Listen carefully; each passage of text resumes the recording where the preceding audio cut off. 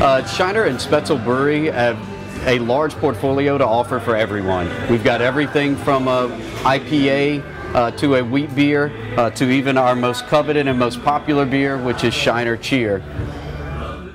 Um, Shiner Cheer is a Dunkelweizen that's made with Texas peaches and pecans and caramelized malts. Shiner Cheer can be found almost anywhere in Texas, from HEB to Kroger to Spec's to even your favorite watering hole like here at Flying Pug on draft. One thing that Shiner definitely focuses on is using as many Texas ingredients as possible.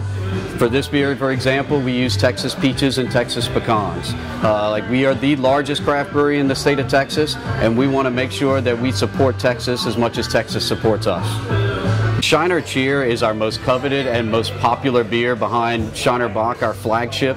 Uh, it is our shortest selling seasonal and it is our largest volume seasonal of the year.